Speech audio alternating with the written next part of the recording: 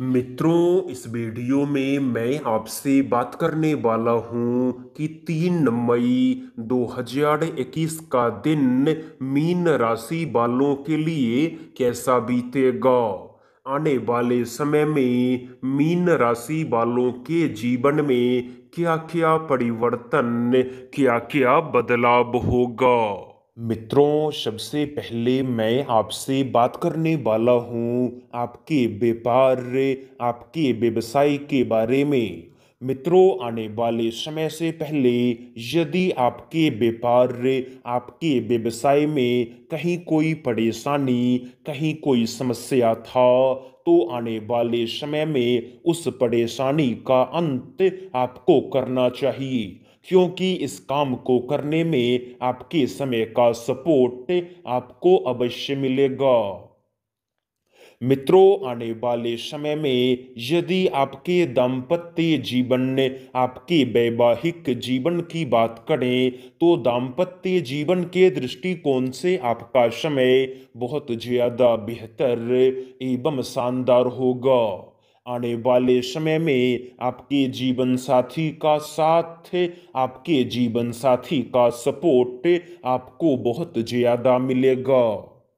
मित्रों, आप में से जो भी जातक नौकरी करते हैं, जॉब करते हैं तो आने वाले समय में अपने नौकरी के क्षेत्र में समय के दुरुपयोग से आपको बचना चाहिए।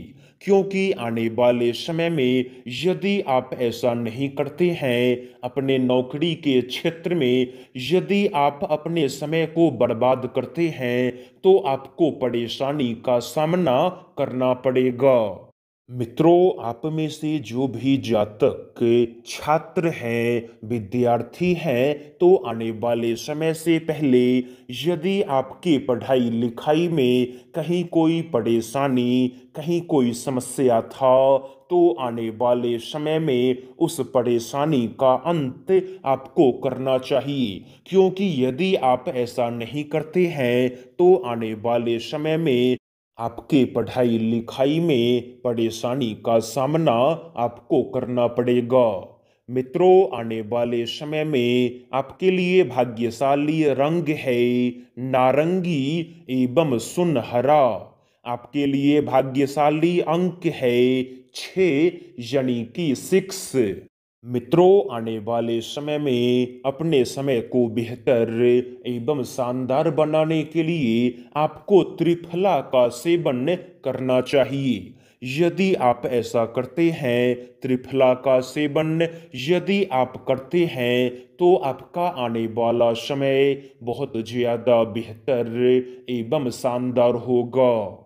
तो मित्रों, आगे बढ़ने से पहले इस वीडियो को आप लाइक कर दें। साथ में इस चैनल को आप सब्सक्राइब कर दें एवं इस वीडियो के नीचे जय माँ दुर्गे कमेंट कर दें एवं इस वीडियो को आप हर जगह शेयर कर दें। धन्यवाद।